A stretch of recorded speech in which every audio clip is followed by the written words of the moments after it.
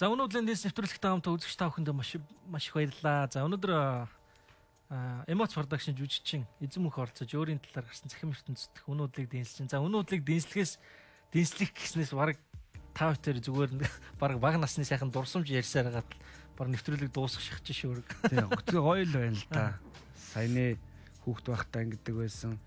Би чинь тэгээд бас яг гоо бүр жоохон багтаа спирт спирт 10 10 зөөдөг 20-той юм. Одоо нөгөө нэг найрка. Тий. Royal Spirit.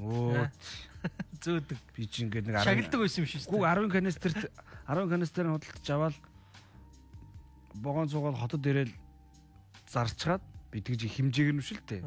Яг тэгэхээр би хичээлийнхаа бэлтгэл 100-ны цагт нөгөө зам үүдтэй ачаад зөөчөөл тэгэл хажуугаар нь тийм байвал мөнгөө цуглуулж агаад аваад тэр чинь шууд 10 литр авах чинь үнэтэй шүү дээ. Тэгэхэд бол би нөгөө ачаад зөөж байгаа мөнгөө цуглуулж 10 литрийг аваад руу өөрөө явж ирээд зарчаад тэгээд 10 литрийн канистртай канистрэнд айр хийгээд тэгээд нэг бол богондоо зарчин нэг бол замын үдтэй айргаа зарчдаг. Таач бол хөдлүүлэх хүйс нү бүжигнүүлж ирсэн. Богоноор ч би ундаа ус ундаа боо борцгож юм бэ хоол унд тэгэл богонд зардаг энэ богооны нөхсвийг их сайн мэддэг касерээс нуухтж жагаад баригдана.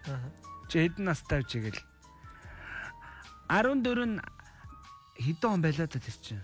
Би жижигхэн байсан болохоор насаа нугаад 12 нас хүрээгүй бол плед авдаг байлоо да. Хэдэн он. Чи хэдэн настай чи гэсэн чи.